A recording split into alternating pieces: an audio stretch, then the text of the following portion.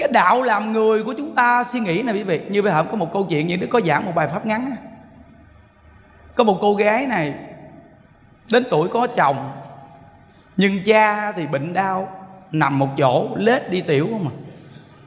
Cuối cùng thì có một anh chàng muốn cưới cô, và quyết định cưới cô. Thì cô điện lên chùa mình mà được người ta chỉ chứ không phải cô biết Phật pháp được người ta chỉ chùa này có nuôi người già. Chỉ cô đem cha gỡ đi đi. Cô điện lên chùa gặp chú tâm nhiên.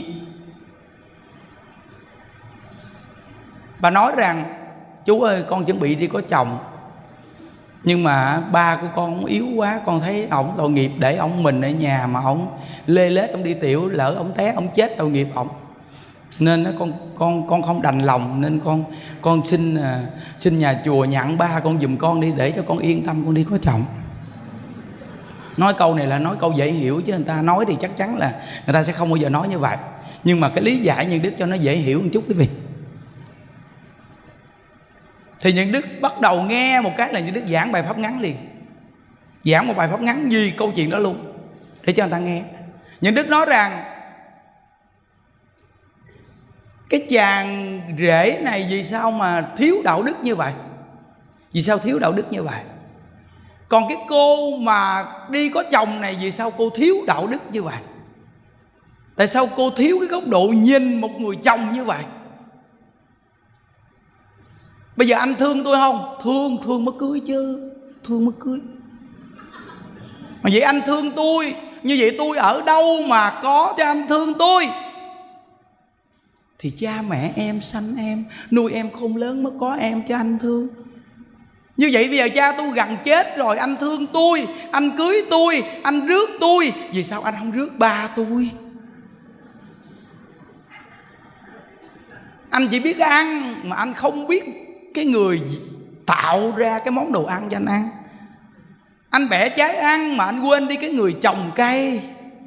Anh uống nước mà anh không nhớ nguồn hả anh nếu tôi lấy cái người đàn ông như anh, thì một ngày nào khi tôi bệnh đau hay tôi bị xấu đi, thì anh sẽ bỏ tôi. Vì anh không nhớ nguồn cội, anh hiểu không? Tôi không thể nào lấy một con người như anh được.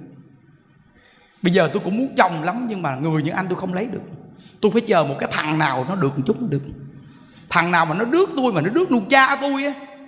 Phải chi mà cha tôi còn anh chị em tôi mà nuôi á, thì anh rước tôi cũng được còn cái này cha, tôi sanh cực một mình tôi, mà ông già ông gần chết rồi, mà anh nở lòng nào anh rước con gái ông, mà anh không rước ông.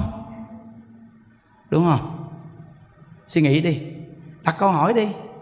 Vậy thì cái tình thương của họ chỉ thương vào cái nhan sắc, thương vào còn trẻ, còn không nhớ nguồn cội con người này thiếu đạo đức còn mình bây giờ chỉ muốn có chồng mà mình quên mất tiêu cha mẹ mình. Rồi mình về mình nằm bên cạnh chồng, mình nghĩ đến cha mình. Tiểu tiện khó khăn, đi lê, đi lết. Vậy thì lương tâm của mình nằm bên chồng, nó vui nổi không chợ?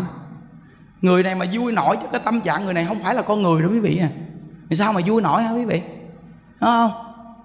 Nó nên bây giờ, thí dụ như bây giờ mình đến với nhau là vợ chồng đi, mình thương con gái người ta thì mình phải thương cha mẹ người ta. Mình thương con mình thương chồng mình. Tính thương con chồng. Mình thương chồng mình thì mình thương cha mẹ chồng con người mà như vậy thì nhất định là hạnh phúc mà.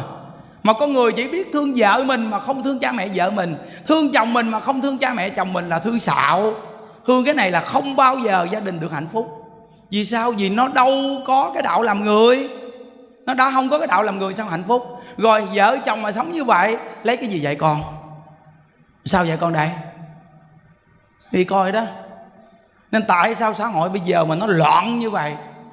Tại vì cái nhân cách đạo đức làm người con người ta không chịu học. Người ta nghĩ cái này là cái cũ đít.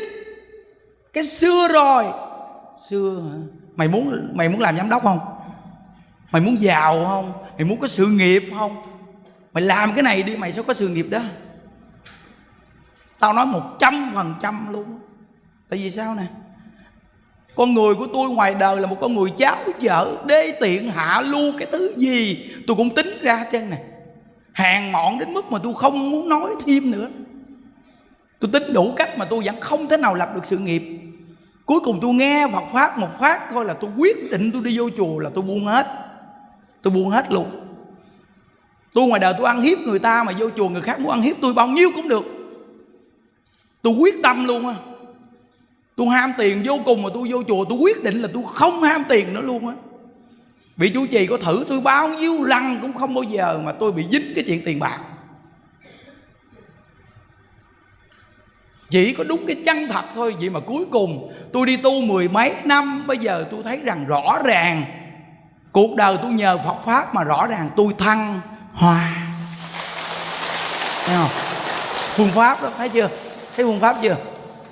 À, có người người ta cứ chỉ nghĩ là tôi học một cái đó vậy là tôi muốn muốn tạo một sự nghiệp qua sở học đó. Quý vị nhớ đơn giản thôi hiếu với cha mẹ hòa thượng với anh em sống đàng hoàng nghiêm túc buôn bán làm ăn cái gì chân thật nhiệt tình. Có lời nhưng mà rất rõ ràng thật thà từ nơi đó tạo thành uy tín. Uy tín đã có rồi sự nghiệp tự nhiên phát triển con người nói chuyện thật thà nhiệt tình, có uy tín, thì ai cũng tin dùng mình một đồng mười mười đồng trăm trăm đồng ngàn. Thì đối tác ào ào đến với mình thì tự nhiên trở thành công ty lớn, tự nhiên trở thành ông chủ mà ai cũng tiếp nhận mình đã làm ông chủ thì mình đã trải qua cái vai trò của người làm công khổ đau. Thì mình thương người làm công, dù mình là vai trò ông chủ, nhưng mình vẫn thương người dưới tay mình. Biết bảo hộ, lo lắng cho người dưới tay, thì người dưới tay mình sẽ hết lòng hy sinh vì sự nghiệp của mình. Như vậy thì sự nghiệp của mình được người ta bảo hộ, chắc chắn sự nghiệp sẽ tồn tại lâu dài. Nhưng nhiều người bây giờ học thức cao, được làm ông chủ, được cha mẹ để của cải lợi cho, nhưng cái nhân cách đạo đức lại không có cuối cùng vào tay mình làm ông chủ, thời gian sạc nghiệp. Vì sao? Thiếu nhân cách đạo đức, không biết sử dụng con người, không nhìn ra được sự việc. Người ta làm cực, không biết đối đáp, đồng tiền để mà phù hợp. Cái công người ta, bắt người ta làm nhiều mà cho người ta lại ít cuối cùng sau lưng người ta phá hoại sự nghiệp và người ta chăm chích mình sau lưng. Cuối cùng tổn phước giữa hai bên thì sự nghiệp công ty của mình tự nhiên tan nát. Đúng không? Tôi đi tu mười mấy năm, tôi áp dụng cuối cùng là cái gì mà thành công trong con đường tu chạy tôi xin thưa quý vị, đừng có đi tìm phật pháp. Ở trong chùa chiền chứ công mất công cho nó mệt. Khó cần đi tìm ai nữa mệt lắm. Tôi đi tu học mười mấy năm nay, tôi xin thưa quý vị, tôi nghe pháp hòa thượng tịnh không được 5 năm. Trong lời giảng hòa thượng tịnh không chỉ có chỉ một cái cách tu thôi. Đó là niệm phật và tôi tiếp nhận được ngay câu Phật hiệu. Còn tất cả việc ở trong chùa tôi áp dụng hoàn toàn từ tỉnh thất quan âm, ngày xưa tôi quản. Nếu người nào chỉ cần có góc độ sâu một chút, Quý vị sẽ đặt câu hỏi vì sao tỉnh thất quan âm ngày xưa Có một thời quanh quanh liệt liệt Mà sau này nó lại không được quanh quanh liệt liệt? Thì quý vị chỉ cần nhìn nhận sâu sắc, quý vị sẽ biết. Hộ Pháp ngày xưa vì sao lạnh lẽo vắng tanh? Hộ Pháp từ khi cái thằng cù lằn đến mà đông đúc người về? Tôi xin thưa quý vị, Mười mấy năm tôi đi tu, Tôi áp dụng Phật Pháp là cái gì quý vị biết không? Ở đâu không? Ở dưới quê tôi đó. Chính tôi còn nhỏ tôi thấy, Ở dưới quê tôi, Khi người đi qua kẻ đi lại ở ngoài đường, Gặp nhau, anh hai, Ghé uống ly nước trà. Chào anh ghé uống ly nước trà cho tôi, uống ly cho xong đi làm gì thì đi, nghe không? Bữa nay có món đồ ăn ngon, anh lỡ ăn một miếng đi. Trời ơi, anh ăn một chén cơm với nhà tôi. Anh anh không ăn là anh em mình sức mẹ tình cảm đó nghe. Ăn nghe. Rồi sao? Gia đình á, khi tới giờ ăn cơm rồi á, bắt đầu á, là con đi qua bên sông đồ chơi bên kia ở bên đây cha mẹ anh em kêu, hiền ơi về ăn cơm con ơi về ăn cơm con ơi bắt đầu là chờ con về ngồi ăn cơm chung với nhau. Hai chuyện nha rồi con người nhiệt tình với con người. Người ta đến nhà một cái là đồ ăn bao nhiêu á, những đức thấy ba, những đức á đồ ăn bao nhiêu ông đem ra cho ăn hết, bị mẹ, những đức cằn nhằn hoài vậy đó. Ông cứ là nhà nghèo, có miếng đồ ăn mà khách đến nhà ông đem, kêu ăn, đem ăn cho ăn hết trơn. Nên bị má nhà đức quá cằn nhằn hoài vậy đó. Sau này tới những đức áp dụng cái cách của ba, những đức thì những đức áp dụng khác một chút. Những đức cũng đem ra cho người ta ăn, nhưng những đức lại chừa lại miếng cho nhà mình ăn. Ba những đứa ông chơi hết tay luôn nên ông được bạn mà ông không được cha vợ với con. Thấy không? Đó là chính cuộc đời những đứa, thấy ba những đứa ông chơi hết mình nhưng mà đối với gia đình thì không tiếp nhận ổng. Nó, nhưng bạn bè thì ai cũng nói ổng chơi nghĩa khí này kia nhưng mà nghèo mặt riệp vậy đó. Còn tới đời những đức thì cũng lấy cái cách của ba những đức mà đổi lại một chút. Như hàng phật tử về chùa, những đức nói với mấy cô á, đồ ăn bao nhiêu cắt hết đi đem vào cho ăn hết đi. Nhưng trước mấy ngày trước như đức hợp, như đức nói cái gì ngon ngon để cho mấy bà già ăn nghe. Tôi nói thật đó quý vị. Trời ơi, tôi nói rõ ràng mà. Ngày 20 ngày 19 ngày mai lễ xong bữa 20 thì tôi nói rằng một số đồ ngon ngon ai cúng để dành lại để chi?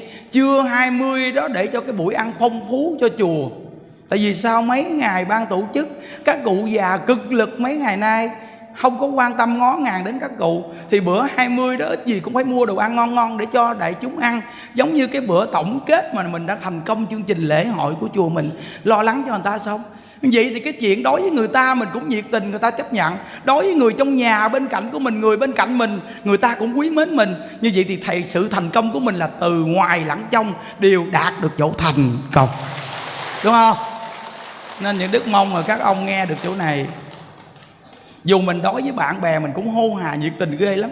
Nhưng mà phía sau mình đối với vợ mình với gia đình mình mình đều nói có câu rõ ràng. À, tôi nói như vậy đó nhưng mà bà dọn ra bà trường miếng cho con cái với bà ăn nghe chưa?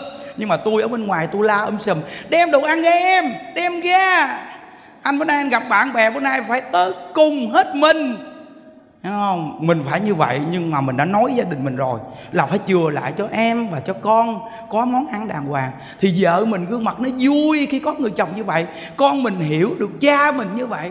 Thì từ nơi đó mà gia đình mình vui thì bạn bè mình cũng thích đến nhà. Còn bây giờ mình kêu dọn hết đi, dọn hết đi.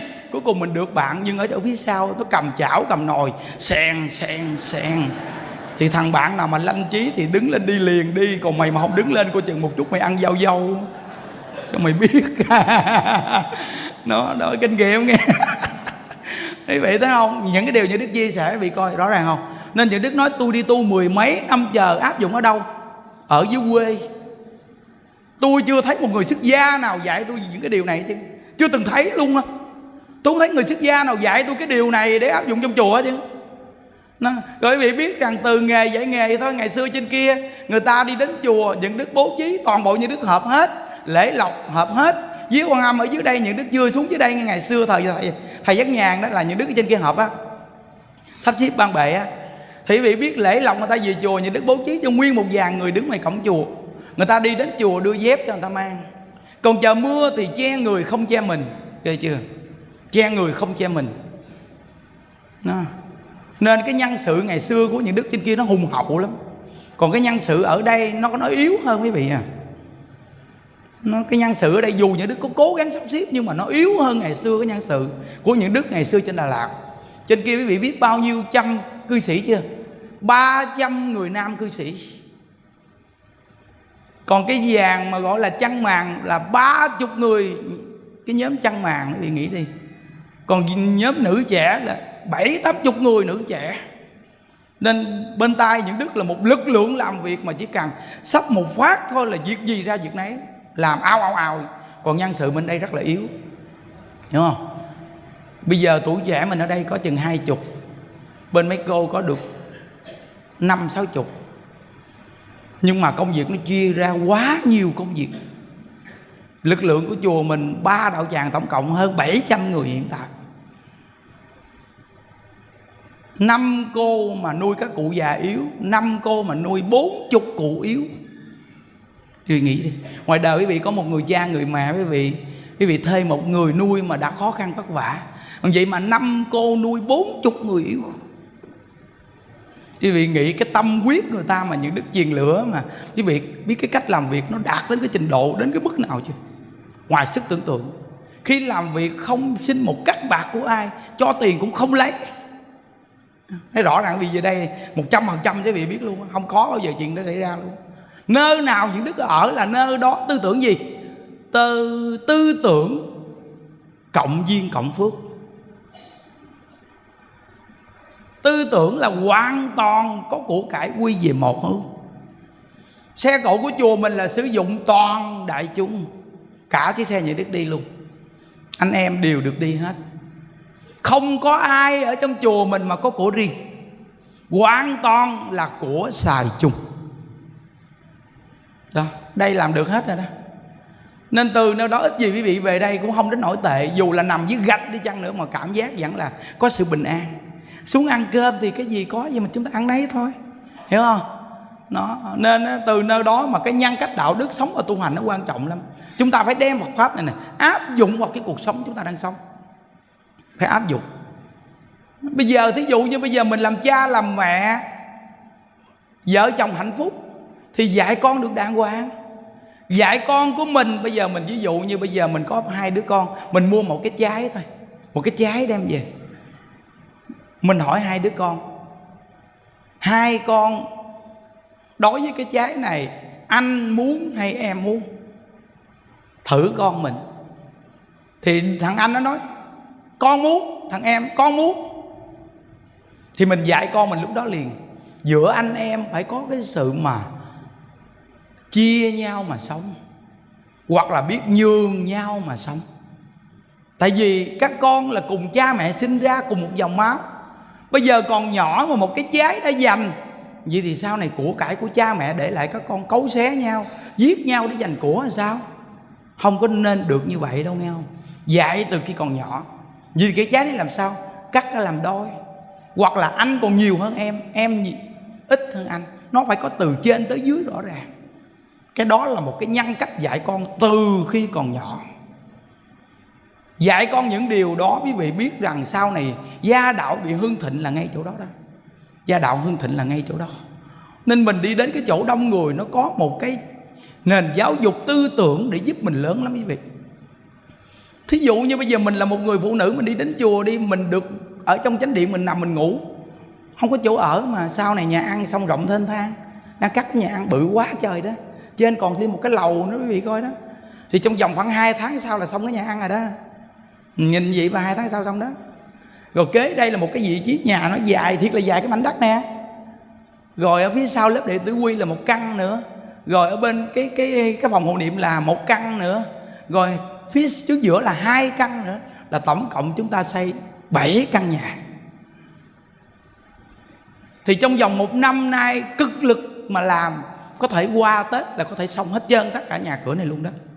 Thì quý vị biết làm đến mức cực lực. Còn bên kia hiện tại hòa thượng đang xây bốn dãy nhà bên đó. Bốn cái dãy nhà cực kỳ lớn mà có hai dãy là chưa cho, chưa tăng ni đó. Chưa tăng ni sau này ở cốc tuổi già này kia là về đó, ở nương tựa đó. Là hai dãy nhà thiết là lớn, đi bằng thang máy.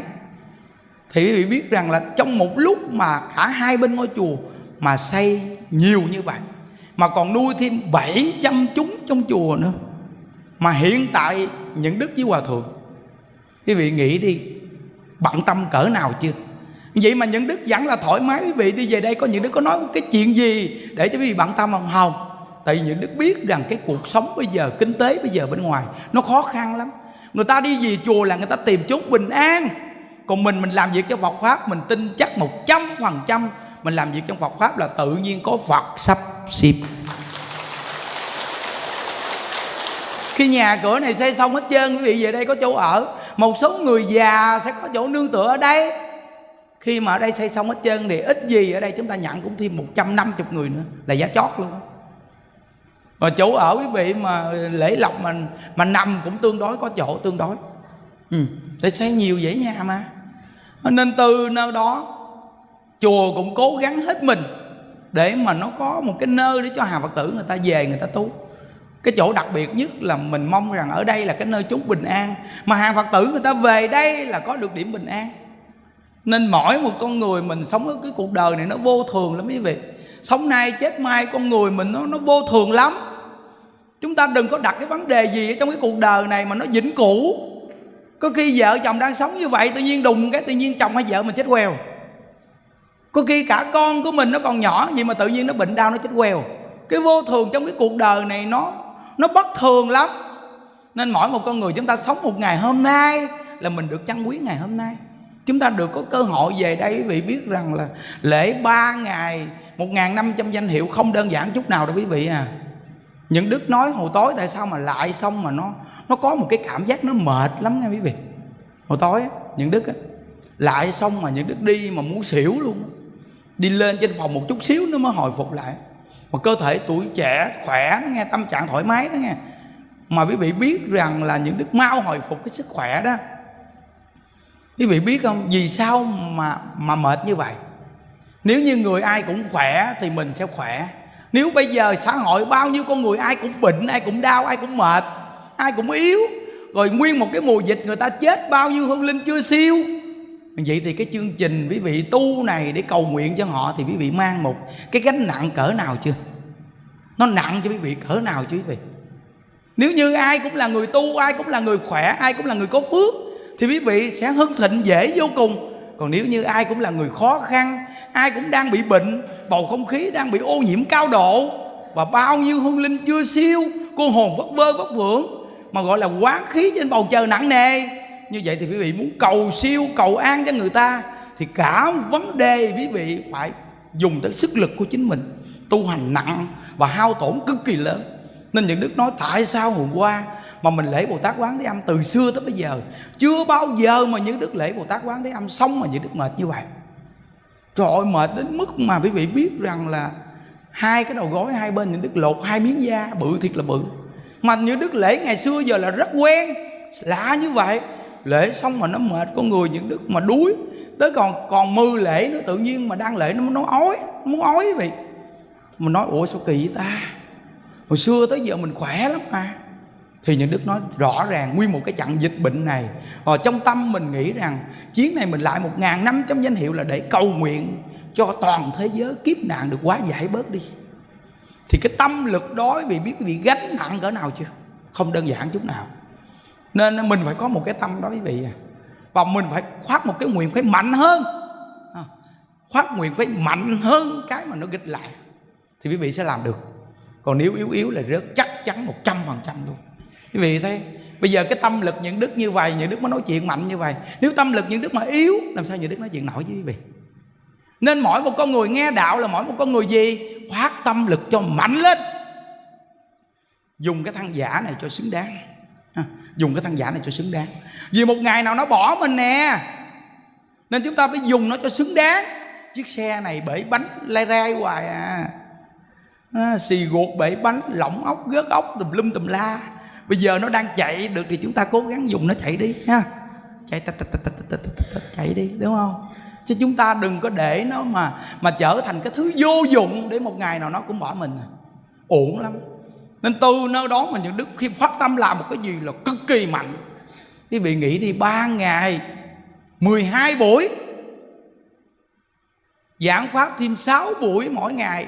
Như hồi sáng những đức tu với quý vị xong á, quý vị nghĩ đúng không? Những đức lên giảng thêm hai buổi trên mạng. Quý vị biết cái tâm quyết nó mạnh cỡ nào chưa? Nên những đức muốn nói lên điều này để cho mỗi một con người chúng ta nghe đạo á. Cái tâm quyết mà hướng thiện cái tâm quyết mà sống đúng đắn đàng hoàng phải cực kỳ mạnh. Và cái tâm mà niệm phật để đời này giải sanh đó nghe phải khoác một cái tâm này cực kỳ mạnh. Những đức nói bị khỏi cần đi tìm nữa. Nghe được tịnh độ khỏi cần tìm nữa. 13 năm nay tôi muốn tìm là tôi đi rồi. Cái thời tôi trên Đà Lạt á, vị thầy chủ trì cho tôi đi qua đảnh lễ qua thượng tịnh không? Những đức nói dạ được rồi thầy nội mà nghe hòa thượng tịnh không, mấy năm nay mà con làm không được bao nhiêu câu. Như vậy thì đi đảnh lễ ngài, gặp ngài để làm chi nữa? Nếu như chân thật mà làm thì sự lợi ích thì cực kỳ lớn. Chỉ cần chân thật làm, con quyết tâm, con niệm phật tới cùng, con khỏi căng, phải đi tìm ở đâu nữa chứ? Con cứ cắm rễ ngay câu vật hiệu này, con cứ đào ngay chỗ này, con đào hoài. Vậy mà đào hơn 13 năm từ khi đi vô chùa, một cách tu, một phương pháp tu, một câu Phật hiệu và áp dụng hơn 13 năm, quý vị thấy rõ ràng không? Rõ ràng không? Phát triển không? Một kẻ quen que xí cầu que như vậy mà quý vị coi, mùa dịch bệnh mà quý vị thấy hồi tối lễ quan âm đông chưa? Cái sức mạnh mà thu nhiếp mà thu hút, một cách tu mà người ta tiếp nhận mà bao nhiêu con người ngồi như vậy mà quý vị nhìn đi. Riêng cái đạo tràng mình quý vị nhìn đi.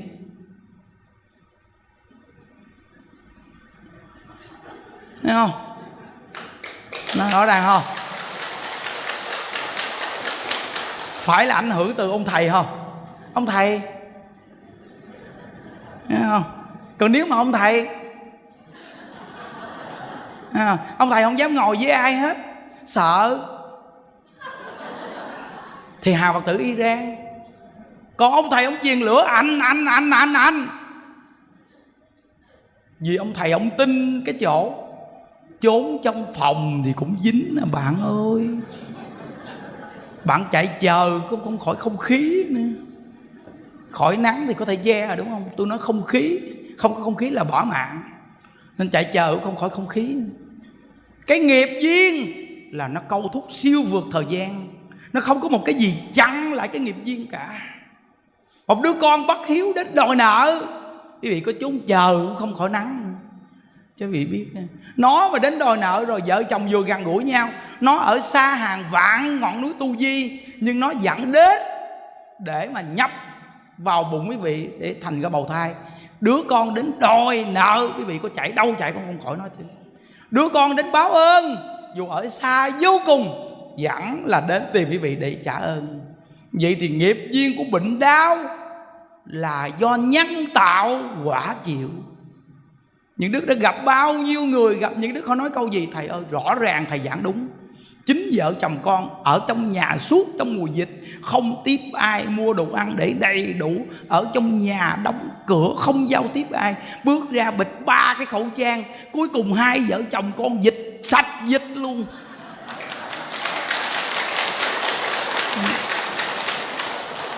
Dịch đầy mình đầy mẩy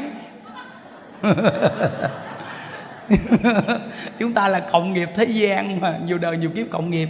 Đây gọi là cái nghiệp duyên mà của vô lượng kiếp để mà hội tụ trong cái thời điểm mấy năm nay đây gọi là nghiệp duyên của vô lượng kiếp. Con người ta bây giờ đang chịu khổ đau vì dịch bệnh vì kinh tế, mà bây giờ người ta còn xách súng đi bắn nhau, giết nhau. Vì sao? Vì bạn cầm dao bạn chặt đầu, cắt cổ con vật với bạn ăn thịt nó. Trong vô lượng kiếp, cái quán khí nó hội tụ thành một lực lượng cực kỳ mạnh, nên con người chúng ta bị quán khí che mờ lý trí. Tự nhiên hai bên cầm súng ầm ầm ầm ầm ầm nhau. Thằng nào thằng nấy?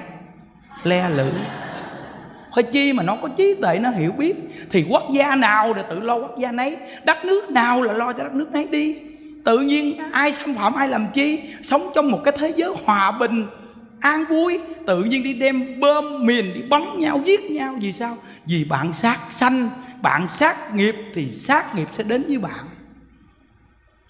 Nên ấn tổ ngài nói một câu gì? Nếu như bạn không có sát nghiệp, dù bạn gặp giặc cướp nó cũng tha bạn còn cái này sát nghiệp bạn nặng quá, bạn có trốn trong phòng, thì nghiệp duyên vẫn siêu vượt thời gian tim bạn để thành ra bệnh hoạn.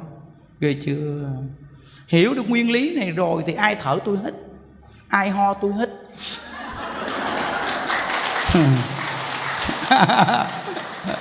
thiếu nợ thì trả đi thao vang làm gì cho nó mệt. Gì quý vị nói gì thầy tu dữ quá. Thầy có bị dịch không? Không có? Tôi cũng bị một chặng mà hổng te tôi tôi giảng pháp tôi nói rõ ràng mà, đúng không? Giống ai?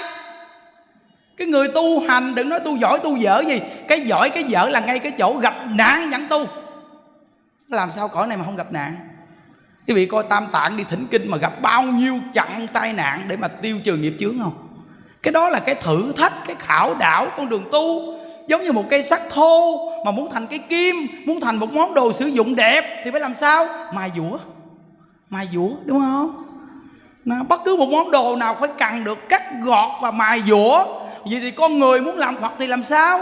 Phải được sự mài dũa mà mài dũa cái gì? Trong trần lao, bệnh hoạn, khảo đảo, bị người châm biếm, bị người hà hiếp, bị người đối xử tệ bạc. Mình hết lòng mà người ta lại lừa dối mình. Đó là sự khảo đảo để giúp cho bạn thành tựu con đường giác ngộ về thế giới cực lạc suy nghĩ đi.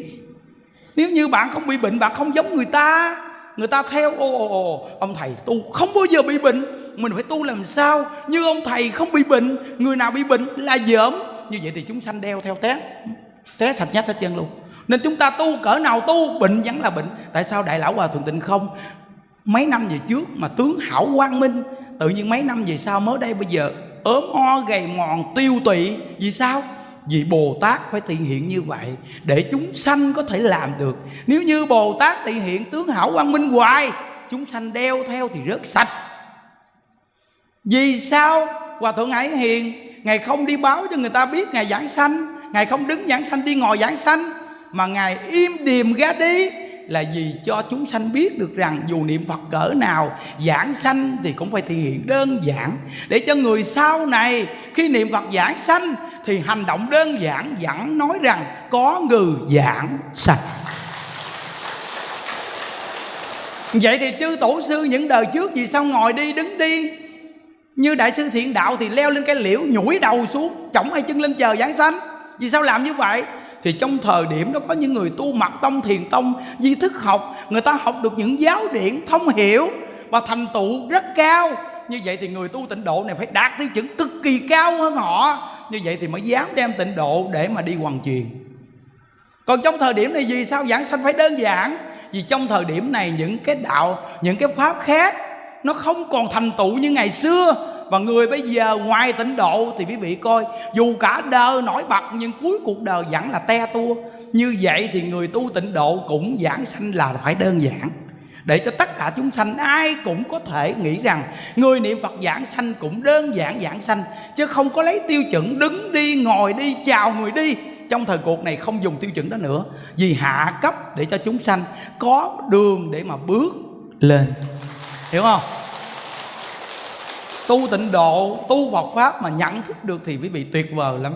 Nên mới nói là Phật pháp áp dụng trong cuộc sống làm sao phù hợp. Phật pháp có thể đi hạ xuống từng cấp từng cấp. Lúc nào Phật pháp cũng hạ theo chúng sanh để cho chúng sanh tiếp được Phật pháp. Hay. Đặc biệt vô cùng. Quý vị thấy không? Nghe gì rồi quý vị thấy ai niệm Phật cũng có tiêu chuẩn giảng sanh hết. Nên á, thí dụ như những đức phân tích cái chỗ này này, nhà nho dạy, nhân, lễ, nghĩa, chí, tính. Thì những đức nói ủa, nhà nho cùng nhà phật nó một mối. Chữ nhan, nhà phật nói là không sát sanh. Chữ lễ, nhà phật nói là không trộm cắp. Chữ nghĩa thì nhà phật nói là không tà dâm. Chữ chí thì nhà phật nói là không uống rượu. Chữ tính, nhà phật nói là không nói láo.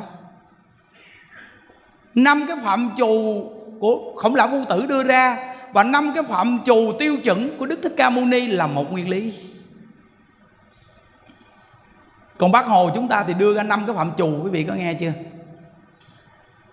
Yêu tổ quốc, yêu đồng bào là nhân nhà phật là không sát sanh.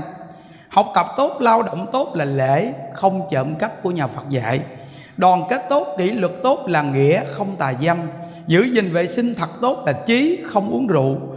Khiêm tốn thật thà, dũng cảm là tính, không nói lao bác hồ cũng đưa ra năm phạm trù luôn. Đi coi á nó đều là một cái nhân cách và để để áp dụng trong cái cuộc đời của chúng ta. Vậy thì bây giờ chúng ta học đạo cái chữ nhân dạy mình, không sát sanh vì sao phật đưa cái giới không sát sanh đầu tiên? Cái người cư sĩ đi đi quy y, thọ tam giới là đầu tiên phật dạy là không sát sanh. Tại vì sao? Vì mình muốn sống nè.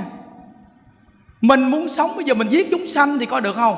Con kiến, quý vị lấy cái tay bị đuổi cho nó thử coi. Nó bò bị lấy cái tay bị dược nó nghe nó chạy, trời ô nó chạy cống chân cống cẳng cho nó chạy. Nó nói, trời ơi, cái gì mà nó bự quá, nó đuổi vượt tôi, nó đuổi vượt tôi. Nó chạy thoát khỏi cái ngón tay mình xong, cái bắt đầu nó chạy về tới nhà, nó nói với cha mẹ, kiến của nó, anh em, kiến của nó, bạn bè kiến nó, bữa nay thoát chết. Tao đang đi đi vậy, không biết nó có cái cục gì mà nó, cái cây gì mà nó dài thòn nó vượt, tao chạy muốn le lử luôn. Thiệt là sợ, mai mốt tao phải cẩn thận, đi đâu tao phải cẩn thận. Thấy chưa? Thì giống như mình, bản thân của mình á bây giờ mình gặp một cái người bự thiệt là bự như khổng lồ, mà họ vượt mình thì giống như mình là con kiến mà khổng lồ cũng như là mình vậy đó. Vượt mình thì mình chạy cũng cống chân cống cẳng hết chứ quý vị nghĩ sao.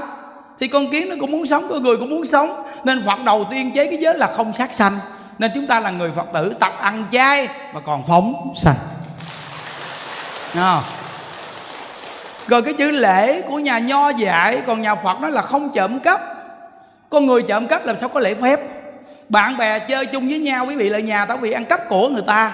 Quý vị mượn tiền bị không trả. Vậy thì làm sao quý vị có lễ phép? Hiểu không? Nên cái chữ lễ trong nhà nho dạy, còn nhà phật nó là không trộm cắp, là lễ phép. Hiểu không? Còn cái chữ nghĩa là không tà dâm. Quý vị chơi với bạn bè, quý vị đi đến nhà bạn bè chơi, gặp vợ người ta đẹp quá, dụ vợ người ta, ở với vợ bạn. Việc làm gì còn cái nghĩa tình của bạn bè nữa hiểu không? Còn vợ chồng sống với nhau, còn trẻ thương yêu nhau hết lòng hết dạ. Tới tuổi già, chồng vợ bệnh che chở nhau, giúp đỡ nhau là nghĩa. Nếu bỏ mất đi chữ nghĩa thì tất cả lời khác khỏi cần nói nữa.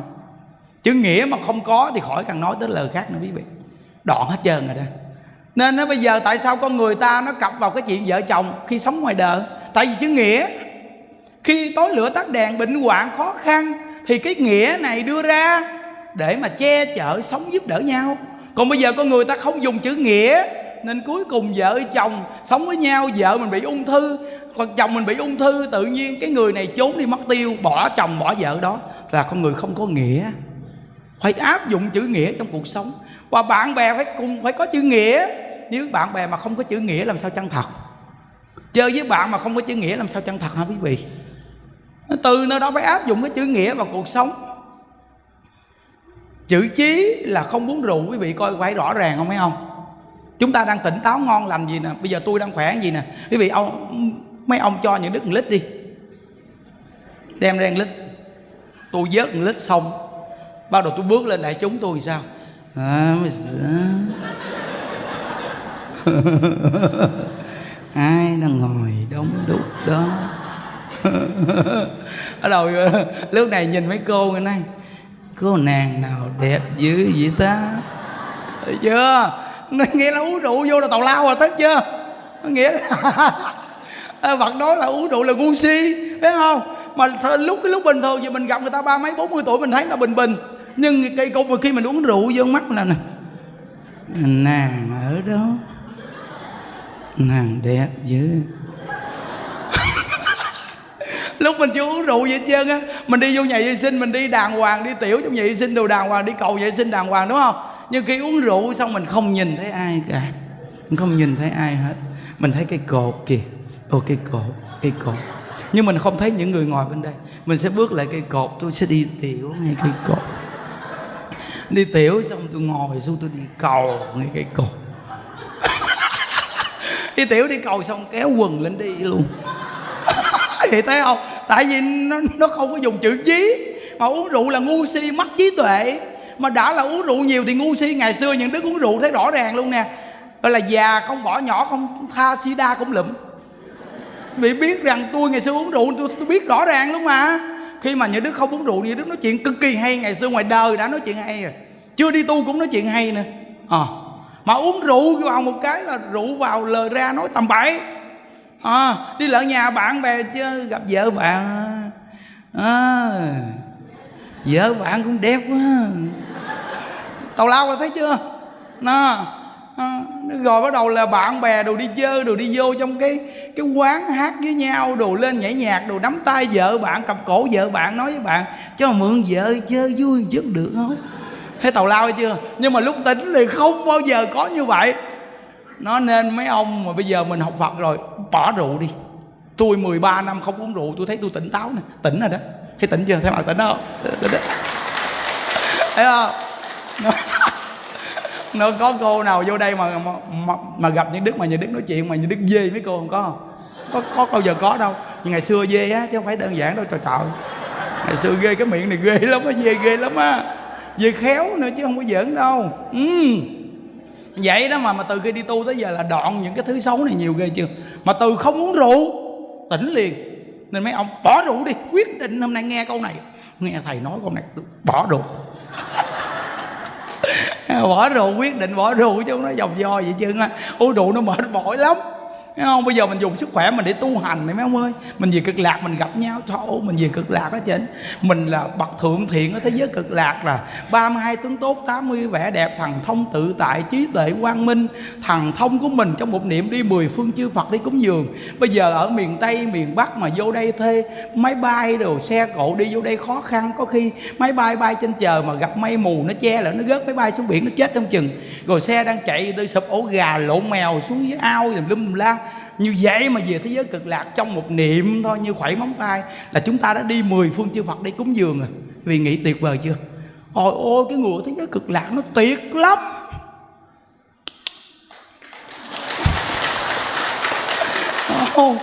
Nó còn mấy cô bây giờ làm vợ người ta đẻ con được cực khổ, nghe nuôi con cho người ta đà, đàng hoàng vậy mà người ta vẫn nói này nói kia, nên những đức nói với mấy ông phải thương vợ nha. Cưới người ta về, lúc buồn tìm tới người ta xong người ta cái bụng trình binh nó đi.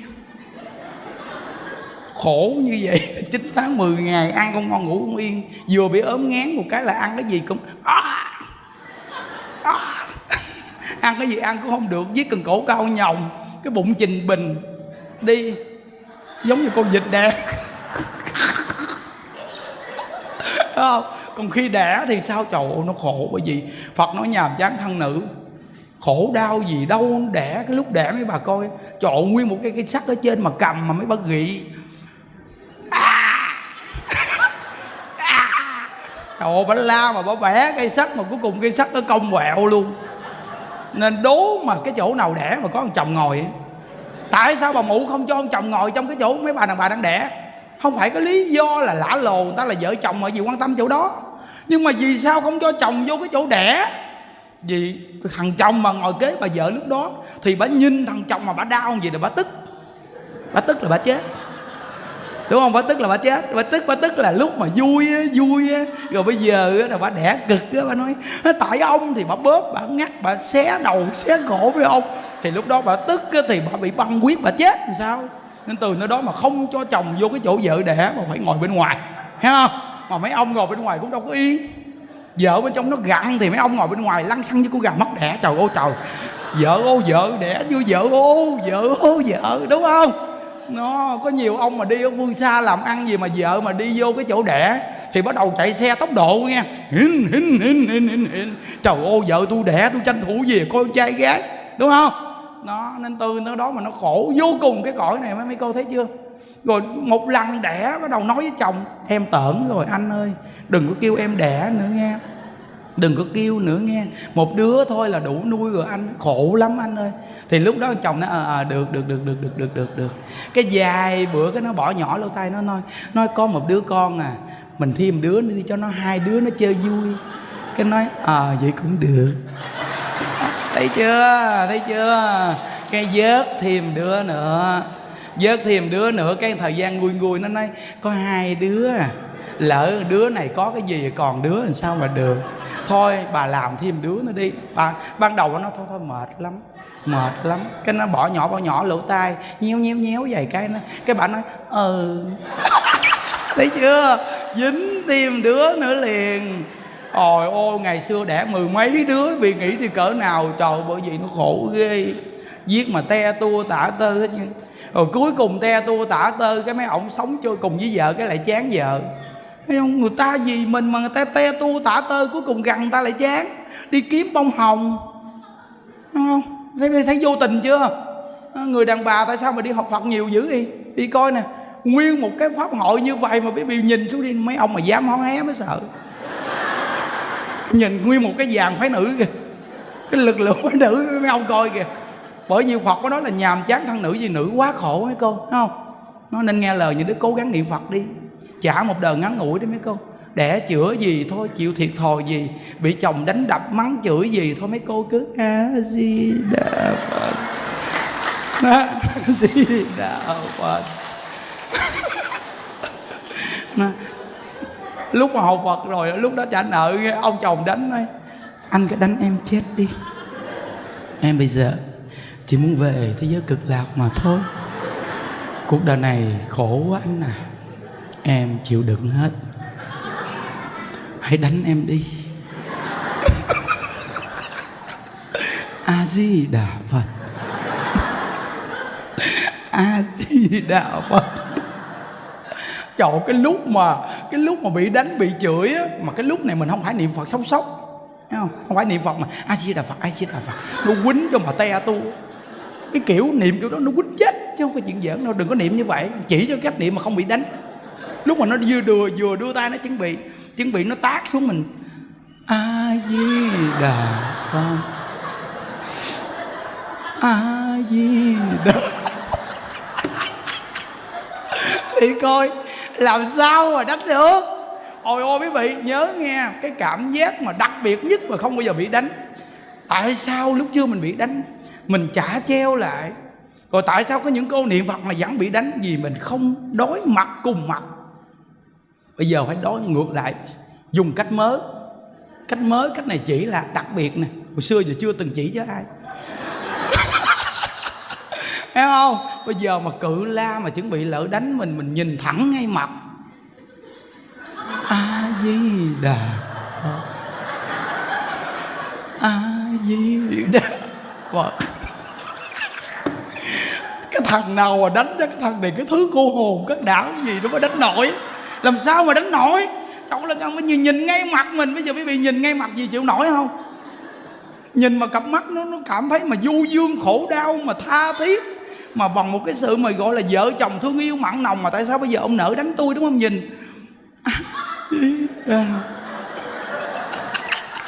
Sao đánh đâu quý vị? Sao đánh được? Đó, nên từ nơi đó thì bắt đầu lúc quý vị niệm câu Phật hiệu đó nó âm sâu vào tâm khảm của ông nó đột phá vào tâm ông nó làm cho ông tỉnh táo lại là và ông tự nhiên chuyển được cái tâm.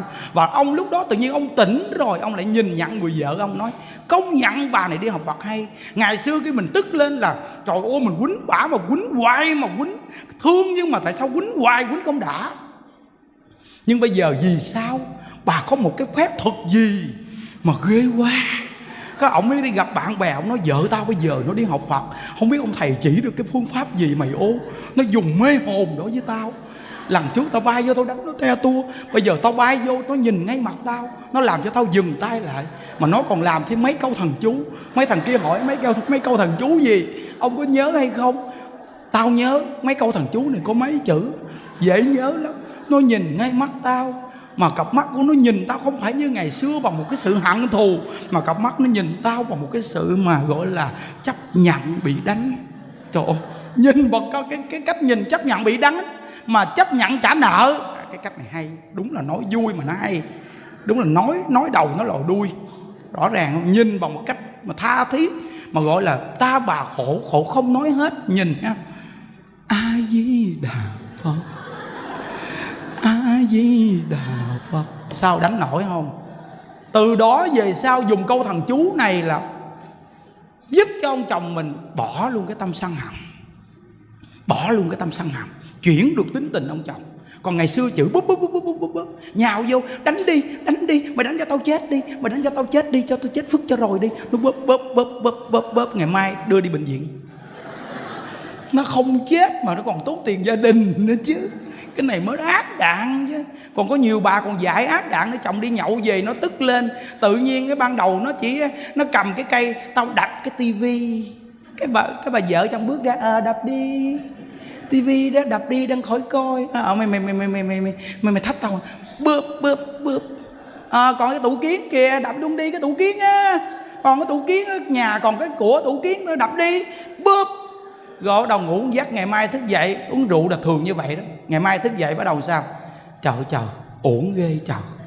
Hôm qua nhậu với mấy cái thằng lũ đạn, cuối cùng về đập cái tivi với cái tủ kiến. Bắt đầu là vợ chồng còng lưng đi mua cái tivi với cái tủ kiến. Nghe thấy không? Bây giờ mình nghe đạo rồi, đi hòa thuận, một người giữ, một người chốn. Gặp chồng mình nó hung dữ nó về là nó nói này nói kia, thôi chốn phước cho rồi đi. Kiếm chỗ nào mình núp núp phước cho rồi đi. Còn niệm phật thì y gan những đức chỉ nãy đó thì không bị đánh. Nghe không? Quý vị thấy về đây được cái tiệc chiêu chưa? Nó nên bà nào bà nấy mặt tươi rói. Thấy chưa? Không? Nó một buổi nói chuyện thôi cỡ mở vô cùng. 10 giờ luôn mà nói chuyện kiểu này chắc khỏi lễ phật quá à. Đúng không? Nên, nó nói với cục tội nghiệp. Hồi tối lễ xong rồi cố gắng đi vòng, thấy trời ơi, mình xong rồi mình lên mình thay đồ này kia rồi mình có phòng mình thay đồ, mình lau, mình mãi mình bận đồ sạch sẽ vô. Còn cái giờ người ta ở đây, người ta lễ, người ta nằm giật nằm dựa rồi có những khi mà bây giờ đó mà đi tắm, đi gì bất tiện, có nhiều bà để đồ dơ vậy luôn để ngủ. Có nữa đó, chứ không phải không đâu. Mà tối đi nghe có mấy bà hôi hôi. Nó nên từ nơi đó mà, trời ơi, mình thấy mà tự trong lòng mình cảm động vô cùng. Cứ đứng trên lan can hoài, cứ nhìn qua bên đây rồi nói với chú kiệt có đi vòng vòng coi xong chưa? Tắt đèn giùm cho mấy bạn ngủ một chút. Trời ơi thấy nằm giặt nằm dựa mình thấy cái tâm quyết người cư sĩ người ta tu hơn người xuất gia mình luôn. Không có đơn giản. Cái tâm quyết người ta quyết chí người ta tu mà trời ơi, nằm gì đâu mà nằm như vậy mà chịu đựng. Có những cô mà lễ xong như bản thân người đức lễ xong còn mệt mà có những cô lễ xong mệt cầm cái hộp cơm. Cái hộp cơm mình có khi đông người quá hộp cơm nó nguội lạnh đồ ăn nguội lạnh buổi chiều nó cho gì mà gán ăn miếng để mà có sức khỏe ngày mai tu nữa còn những đức ở trên kia người ta đem một tô cháo nóng hổi mà còn ăn vô. Khoan ly bột sắn uống đại, rồi xong. Tô cháo không ăn được luôn. Vậy mà có những người người ta xuống người ta ăn cơm nguội lạnh như vậy. Nên cái người phục vụ cho đại chúng mới để ý được cái chỗ này. Để mình lo lắng cho người ta. Trưa nay quý vị nhớ nha, dọn hết nguyên cái cái à, cái chánh điện này nè những phát xong á, là cho phật tử ta nằm ngủ ở đây bật quạt nó cho nó mát trưa nay mình nói chuyện Iran gì, khỏi lễ Phật ra cúng đi thực phóng sanh để tranh thủ mình đi ăn cơm xong mình qua đại tùng lâm. Hiểu không? Vì thì ngủ để được rồi, ngủ ngon lành luôn. Tới giờ tu, đi rửa mặt, chạy vô ngồi, khỏi niệm ngồi gì, ngồi sát sát nhau, nghe pháp một chút ra phóng sanh cúng đi thực là xong. Mà nằm ngủ ở đây mặc quạt cho nó mát, chứ cái giờ này nó nóng nảy, nằm ở kia hanh nắng. Còn quạt đâu có nữa. Nên nằm trong đây nhà, trong đây nằm hết đi. Hiểu không? Nó nằm hết trong đây đi nó, nhưng mà mình là phái nữ có khi mình nằm có khi mình ví dụ như mình đi đâu đi mình cũng cầm theo cái khăn. Có những bà cháu là cháu. Mình đi trên lăng can ở trên mà mình nhìn xuống có nhiều bà bánh nằm ngay cái ghế ấy mấy không anh nằm đã là mình biết mình bản thân mình vậy mà nằm gì nè. Con mình nói sao bà nó bất kỳ cục ghê luôn mình nó biết mình bản thân của mình mình nằm thì cũng khép khép gì một chút, cuốn cuốn người một chút đi. Nằm gì đâu mà chàng hãng chứ, hê. Mà nhiều bà mà đâu phải bận đồ lam, mà nhiều bà bận cái cái kiểu đồ thun mà nó bó bó vô á. Trời ơi, mà còn nằm mà con không bởi vì cái đó cũng là một cái nhân cách tu hành của con người mình đó quý vị. Mình là phái nữ đi đâu cũng vậy chứ. Trong cái giỏ của mình nào là khăn nào là đồ đồ của phái nữ mình cái gì cái gì rõ ràng mình chuẩn bị. Lỡ mình đi ra đường bắt thử cái này cái kia thì sao? Phải có đồ mà thay. Hiểu không? Cái đó là cái chuẩn bị của người phụ nữ mà khi mình là người mẹ phải dạy con gái như vậy luôn hiểu không? Nó cái đó vậy đó còn nằm ở đâu cũng có cái khăn nó nó nó nó, nó, nó giống như là nó nó nó phớt ngang người mình nhẹ ăn cái cũng dưới cái cũng được đi. Hiểu không? Chứ bây giờ mà. Trời, không có cái gì che lại hết trơn nó kỳ cục tới ghê luôn. Rồi người ta đi qua đi lại, mấy ông thầy cũng phạm tăng lên, đi ngang nhìn cái. Đi ngang nhìn cái, đi lại. Về ăn đồ hũ cũng khó vô cùng luôn. Hiểu không? Nên từ đó đó, trời, chúng ta là phàm phu, cái thẳng thắn đi, quý vị ơi chúng ta là phàm phu lắm. Cái gì dán bài lặt ngửa vẫn là dễ nhìn hơn, hiểu không? Cái gì nói rõ, nói ràng đi chứ đừng có nói mé mé, nói mé mé không hiểu đâu. Chúng ta bây giờ là cái thời đại công nghiệp, gọi là cơm áo gạo tiền. Cái thời đại nó chạy nhảy lăng tăng mà cái thời đại này mà còn bắt mình phải suy nghĩ nó không có thời gian. Nên cái cách nói chuyện những đức là khỏi suy nghĩ cũng hiểu nữa, hiểu không? Nó nên vô chánh điện như mình nằm thì dụ như phật ở đây, thì mình nằm mình quay giò ngang nhau. Chứ đừng, mình đừng có đưa giò vô mặt phật không mình không cãi thì mình cũng có tâm cung kính một chút đi. Thấy không? Rồi dùng mình nằm mình quay mặt ra ngoài. Mình quay mặt ra ngoài mình nằm gì đúng không? Chứ mình đừng có đưa chàng hãng cái hơi vô mặt phật. Cái này là nó, nó, nó thiếu lễ phép nó thiệt luôn á. Nó lễ phép từ tâm nhưng mà từ tâm sanh tướng. Nhưng mà bây giờ cái tướng của mình nó chàng chàng hãng chơi hê cái này mà nói ha tôi như vậy đó mà tôi cung kính đó là sao? Không cung kính được rồi cung kính gì mà kỳ cục thế ghê không nói cũng dám, có những bà mà nằm đây ngủ dám nó đưa mặt vô đây à rồi ba cũng dám lắm á. Không, tại vì sao? Vì phật đã nói rằng cái người phụ nữ mình mà sanh trong cái nhà như lai là giáo pháp đức thế tôn phải giảm 500 năm. Tại vì sao? Vì có nhiều cái tập khí lạ kỳ lắm. Tuy là tu thì cũng siêng tu lắm, nhưng mà bước ra một chút bấm ngồi ngồi ăn cơm nè. Ồ chị ơi, chị thấy không? Thầy bữa nay nói chuyện có những câu mà nó hay, mà có những câu ông thầy này nói chuyện thô quá à đúng không? Hoặc là trò trò vô chùa mà sao thấy cái người đó gì gì gì kìa? Có cái bà đó gì kìa? Con nhỏ nó nó gì kìa? Đó cũng do cái bệnh này mà trong nhà như lai giảm hết 500 năm mà giáo pháp đức thế tốt còn đàn ông vậy chứ đỡ lắm. Đàn ông vậy chứ nó đỡ tối đa luôn á. À, cái phước của người đàn ông nó lạ lắm quý vị. À, nhìn nó tu sao người phụ nữ nhưng mà người đàn ông mà nó chịu tu một phát là nó qua mặt quý vị liền đó. Tại vì người ta bao nhiêu trăm năm người ta mới được làm người đàn ông cái phước người đàn ông lớn lắm hiểu không? Nó và cái góc độ người đàn ông và cái trí người đàn ông nó sâu lắm.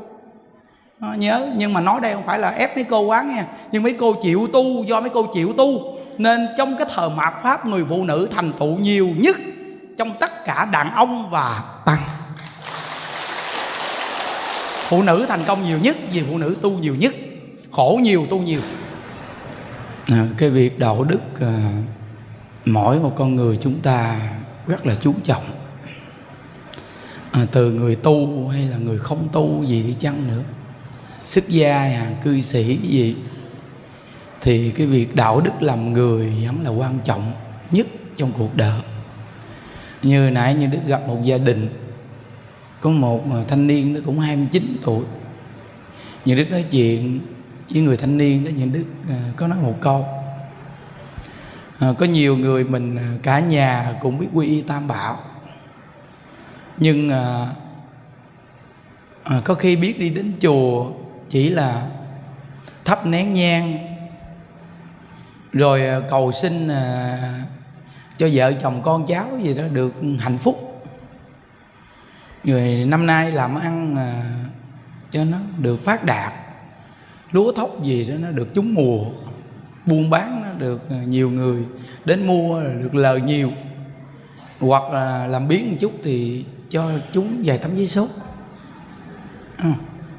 nghĩa là cái quan niệm người ta đi đến chùa, cúng cho phật nãy chuối hoặc là một ờ, bó nhang, thì bắt đầu là người ta cầu quá nhiều thứ quý vị ừ.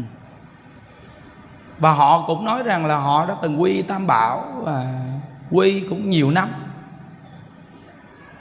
nhưng quy tam bảo, nhưng cái y vào cái tam bảo đó thì chúng ta khi không hiểu, không ai nói rõ cho nghe à. có khi chúng ta quy y được truyền thọ năm giới, không sát sanh, không trộm cắp, không tà dâm, không nói dối, không uống rượu nhưng chúng ta chỉ có quy y mà không y, không làm hiểu không dù là mấy chục năm quy y đi chăng nữa thì cũng là cầm một tờ giấy quy y về chéo nhà toàn ten chứ. Chứ không có kết quả gì. Nên những đức nói gia đình đó những đức có nói một câu. Phật pháp hay lắm. Không phải là người nghe phật pháp là đi cạo đầu xuất gia ở trong chùa không phải đâu. Mỗi một con người đều có nhân viên khác nhau.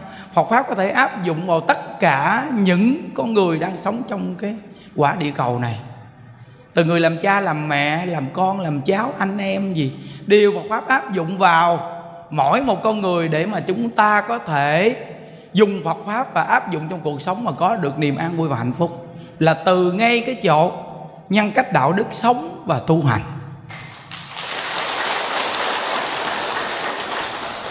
Thí dụ như bây giờ quý vị đang ngồi ở trong cái đạo tràng đông người ta như vậy quý vị để một cái điện thoại kêu e, e, e. e hoặc là em ơi em ơi, hát um sùm. Quý vị nghĩ bao nhiêu con người người ta động ở trong đây, trong khi người ta đang tu. Mà để điện thoại nó reo như vậy thì vậy thì cái cái nhân cách này sao quý vị? Cái chuyện này rất đơn giản, mà có rất là nhiều người chúng ta vẫn không quan niệm để ý tới cái chuyện này. Mà một cái việc nhỏ này nó phá đi cái đạo đức của người mình và nó làm cho cái nhân cách của người mình bị người ta đánh giá là một con người không có góc độ sâu sắc. Hiểu không? Chuyện đơn giản thôi. Thí dụ như bây giờ điện thoại mình bấm bao nhiêu ngày tháng ở ngoài đời, mà bây giờ vô trong cái đạo tràng hoặc lâu lâu đi vô chùa tu có một ngày, hai ngày cũng là bấm điện thoại. Chúng ta hãy bình tĩnh suy nghĩ là cái bấm điện thoại của chúng ta có giải quyết được vấn đề trong cuộc đời mình không? Có giải quyết được không? Cầm điện thoại bấm tối ngày để tiêu khiển thời gian, có giải quyết được vấn đề không? Không. Khi có chiếc điện thoại, khi coi nghe pháp đồ hoặc là đem Phật pháp giới thiệu, hoặc là truyền tải Phật pháp còn có ý nghĩa một chút, đúng không? Nhưng mà nếu để bấm điện thoại chơi điện tử hoặc chơi cái này, chơi kia con hình này, hình nọ trong đó đó, thì cái chiếc điện thoại này không giải quyết được vấn đề. Nhớ nghe. Vậy mà có khi ngồi ở trong một cái pháp hội tu, người ta lễ quan âm, người ta tu, người ta nghe pháp, người ta niệm phật, vậy mà để điện thoại reo. Vậy mà vẫn không nhìn nhận được cái việc làm của mình, mà để chính mình phải đi tắt nguồn điện thoại, mà vẫn là reo một cái có khi đang ngồi gì chiếc điện thoại reo cái tự nhiên cầm điện thoại chạy ra ra, ra, ra, ra, ra ngoài. Một chút cái chạy ra, ra, ra, ra, ra chạy vô. Cái chuyện này sao nó lạ vô cùng? À, cái, cái cái con người mình sao tại sao mà một cái việc cái việc như vậy mà mình không không nhìn nhận được nha quý vị? À, lúc trước mà những đứa ngồi ở nhà ăn ăn cơm mọi người người ta ngồi người ta ăn cơm im re. Một người này bận quần tây áo sơ mi bỏ vô thùng mang giày tây tá, tóc chạy bảy ba nhìn rồi nó nó trí thức vô cùng. Vậy đó mà vừa ăn cơm xong một cái cái đầu ngồi ngay chỗ đó cầm điện thoại nói chuyện um sùm người ta lại người ta nhắc chú chú nói chuyện điện thoại ra ngoài giùm. Ngồi đây nói chuyện điện thoại nó làm động đại chúng đang ăn cơm. Ở đây ăn cơm không nói chuyện. Thấy một cái cái tự nhiên bước ra ngoài nói chuyện điện thoại xong cái tự nhiên bước vô ngồi chưa nóng cái mông cái tự nhiên chạy lại ngay chân cái chỗ xả nước xả ao ao ao ao ao ao ao múc nước hắt hắt hắt hắt vô mặt rửa miệng xúc bao nhiêu con người nhìn mà một cái hành động một con người cái tướng trí thức vô cùng mà một cái hành động nho nhỏ vậy thôi mà phá đi cái nhân cách của họ luôn vì thấy không quý vị cái chuyện nhỏ thôi đó nên con người có khi học bằng cấp này, bằng cấp kia, bằng cấp nọ. Nhưng mà cái việc nhỏ vô cùng để áp dụng trong cuộc sống không nắm được. Họ cứ nghĩ ra rằng là họ được cái bằng cấp này, bằng cấp kia là họ hơn mọi người, đúng không? Nhưng mà cái đối nhân xử thế thì không biết. Quý vị biết rằng có những người lên thành phố đi học chỗ này, chỗ kia, nước ngoài này kia. Vậy mà khi trở về miền quê thì cái cách đối xử với người miền quê không biết cách. Bị bao nhiêu con người người ta xem thường và người ta nói chỉ tay sau lưng là một cái hành động của người tệ nên những đức đã từng hướng dẫn cái lớp đạo làm con những đức nói với các cháu nhỏ trong ờ, trong cái lớp đạo làm con những đức nói nè các con nhớ nha các con sau này đi du học ở nước ngoài đi đến nước này nước kia đi du học các con là một thành viên của người nước việt nam chúng ta. Để mà đi qua đất nước khác để mà tìm tòi cái sở học được hay những cái sở học tốt đẹp. Các con á, đi qua bên đó các con đi du học á, các con đừng có đi qua bên đó ăn cắp đồ ăn trộm đồ của người ta bên đó khi người ta chửi các con không phải là người ta chửi một con người các con mà là, là người ta chửi người Việt Nam. Mà đã là người ta nói người Việt Nam thì toàn bộ người Việt Nam bị chửi hết. Cái tội này của các con nặng vô cùng. Nếu như các con đi qua nước khác mà các con bê tha thấy đồ người ta gớt mình lụm rồi thấy lấy cái gì của, của người ta cái tự nhiên đi ăn cắp vậy thì người ta đánh giá cả người Việt Nam nên các con nhớ sau này đi du học ở nước ngoài phải lấy cái nhân cách làm người đi ra ngoài đó để sống với người ta ở đất nước của người ta. Người ta sẽ đánh giá người việt nam là người tuyệt vời. Giống như lúc trước chùa của mình người nước ngoài cái thời điểm mà chưa có dịch bệnh đó, là nước ngoài đi vô chùa mình nhiều lắm. Tại đây là ngay cái cảng. Nên nước ngoài người ta ghé đây người ta đi du lịch người ta ghé chùa mình người ta tham quan nhiều lắm. Những đức bố trí cho một nhóm người trong chùa mình một số người cũng biết tiếng anh đó quý vị. Còn những đức thì biết đủ thứ tiếng nên không có gặp ai làm chi tại biết nhiều thứ tiếng quá. Lỡ nó nói lộn tiếng mất công. Nên từ nơi đó đặt trách cho một số người biết một số tiếng á. Bắt đầu là người nước ngoài người ta vô cái dẫn dắt người ta đi đi một vòng xanh quanh cái đi xuống tới nhà bếp cái. Những đức bố trí cho những người cắt ỏi cắt cốc cắt uh, xài rồi đó. Vậy mà cái người nước ngoài có những cái món đồ gì đó mà nó lại không ăn được. Mà khi nó ăn nó mê chứ ghê thiệt chứ. Ồ quý vị biết người nước ngoài người ta ăn nhiều món nhưng mà có những cái món đơn giản thôi những cái món mà ở Việt Nam mình đơn giản vô cùng, quý vị cho họ ăn thì họ mê lắm. Mà cho họ ăn mà đưa cho họ đồ, tiếp họ đồ. Dạ, dễ đó quý vị. Mà vậy mà lần đầu đi đến hai, ba chục, lần sau bốn, năm chục, lần sau cả trăm người đến vậy đó. Bắt đầu là có một số người nước ngoài, họ nói với mấy cái người mà trong chùa mình mà biết tiếng anh, họ nói nè, người việt nam thật là dễ thương. Người việt nam dễ thương lắm. Thấy chưa? Cái hành động đơn giản như vậy thôi, người ta nói là người việt nam dễ thương thì thấy chưa? Nó. rồi các cô mà vô cộng tu, cư sĩ rồi ra ra mà chào hỏi họ họ nói, người phụ nữ việt nam thật là đẹp. Thấy chưa? Nhiều bác hồ chúng ta ngày xưa mà cái nước ngoài người ta vô đồ, cái bắt đầu là bác hồ, cái nào cho người dẫn người ta đi tham quan đồ. Chỗ này chỗ kia, cái dẫn đến người việt nam bằng áo dài tha thước rồi ta khen người phụ nữ việt nam dễ thương nói chuyện rồi mềm mỏng đàng hoàng thấy không cái nhân cách đó nó rất là quan trọng quý vị ừ. đó. nên đó, thí dụ như hôm qua những đức lại bồ tát quán thế âm ở ngoài kia ở trong đây nè ở ngay trước giữa chánh điện này có hai mẹ con không biết có đang ngồi đây hay không hai mẹ con một đứa con thì bận cái bộ đồ ngà ngà đen đen nhìn nó, nó, nó cầm thêm cái cặp hai mẹ con lễ bồ tát quán thế âm mà đứa con nó cứ bò qua bà mẹ rồi cầm điện thoại bấm bấm bấm bấm bấm mà đứa con nó cũng lớn nha khoảng 11, 12, 13 tuổi vậy đó. Nó bò qua bà mẹ chút cái nó đứng lên đứng ngay trước giữa chánh điện luôn. Mà bao nhiêu con người người ta đang lễ gì nó đứng lên đi vòng vòng vòng vòng. Cái bò qua mẹ cái gặp mẹ cái này cái kia. Mình nói ủa sao cái hành động con người ta sao cái chỗ này người ta khó không nhìn nhận ra chợ? Trong khi bao nhiêu con người người ta đang lại mà ông thầy ông đang lại phía sau ông đang sướng quá trời luôn mà mình ở phía trước mình làm động người ta. Người ta lại ở ở phía sau như vậy. Vậy thì nguyên một cái thờ tu của mình nó mất tiêu sạch chắc hết trơn rồi. Chỉ cần một, hai niệm của những đức không vừa lòng thôi là cái như là không còn một chút xíu luôn nữa cho vị biết chỉ cần một, hai niệm những đức không vừa lòng người đó thôi. Nó. nên khi những đức lễ xong rồi, những đức nói, thôi đem cái cái quan niệm nó ra. Và mình tuyệt đối mình không có bực bội người đó nữa để cho cái người đó xong đi. Sáng nay mình giảng mình nói một cái để cho cái người đó nó tiêu cái nghiệp đó liền đi. Hiểu không? Nên từ nó đó trước mặt người ta lễ đông như vậy mà hai mẹ con cứ lằn quằn lằn quằn là quằn ngay trước giữa chánh điện luôn. Như vậy thì hành động mình như vậy mình làm sao? Dẫn con mình đi ra tuốt phía sau đi. Nên nhìn đức bố trí cho một số anh em á, khi người ta lễ người ta tu đi xung quanh xung quanh để coi sự việc để mà bảo hộ cho người tu lúc đó mà bây giờ một mình mình không lễ mà mình vô mình dẫn những người đó ra, công đức mình còn hơn lễ 500 danh hiệu bồ tát quán thế âm vì sao? Bảo vệ cho nhiều người lễ bồ tát quán thế âm được ổn định. Quý vị nhớ nghe lễ phật bồ tát là công đức. Nhưng mà cái lúc lễ, dù có vui nhưng mà tuyệt đối đừng làm phiền người khác. Có vui nhưng không nên làm phiền người khác thí dụ như dù có, có những người người ta niệm thí dụ như quan thế âm bồ tát mình có thể mím cười mình mím mím mình cười mình vui vui trong lòng. Chứ tuyệt đối mình không có cười ha ha ha ha ha. Mình giỡn úm sùm. Tại vì người ta đang lại bồ tát lại phật. Trong kinh giáo nói rằng thà làm động nước ngàn sông chứ không nên động tâm người tu tập. Người ta đang tu mà mình làm động người ta là không nên hiểu không? Nó nhân cách đạo đức sống và tu hành này nó áp dụng luôn mà thấy chưa? Đó nên những cái việc nho nhỏ nho nhỏ nho nhỏ đó tự mình nhận thức nha.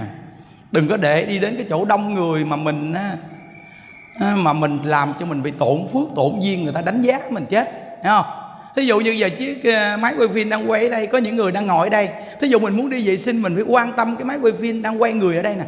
Thì mình muốn đi thì mình lỡ mình có đi ngang mình cũng không không khom mình đi ngang tại vì nếu không thì mình phớt ngang cái là cái cái hình ảnh nó bị, nó nó bị che lại cái đoạn liền, hiểu không? Hoặc là mình muốn đi, mình âm thầm mình đi phía sau. Thí dụ như mình thường đi vệ sinh đi, mình ngồi trong công chúng đi thì mình kiếm cái chỗ nào mà mình đi mà đừng làm động người khác. Chứ đừng bao giờ cái chuyện của mình mà để động người khác. Thì đây là cái người nhân cách sống, tạo ra phước duyên và giữ được phước duyên.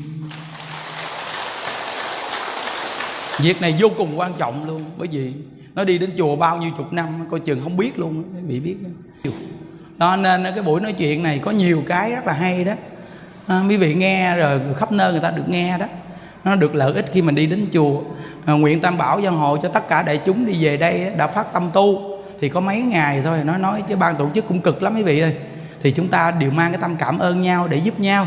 Thì bây giờ chúng ta tu chúng ta cố gắng nhiệt tình hết mình mình để mà tu mấy ngày cho nó xứng đáng cái chuyến đi của mình nào là bỏ công ăn việc làm rồi tốn tiền xe. Mình đi đến đây mình tu mà mình về mình gặp chồng gặp con gặp vợ mình mình không có ngại. Tại vì mình đi mình cũng tu cực lực mình tu hết mình mình xứng đáng lắm. Nhưng mà cái tu vậy nó sanh phước duyên lớn lắm ha. Thôi chúc quý vị an lạc nha. Hai di đà phật à, chắp tay hồi hướng quý vị. Nguyện à, đem à, công à, đức này hướng à, về à, không à, tất cả đệ tử và chúng sanh, đồng sanh về tịnh độ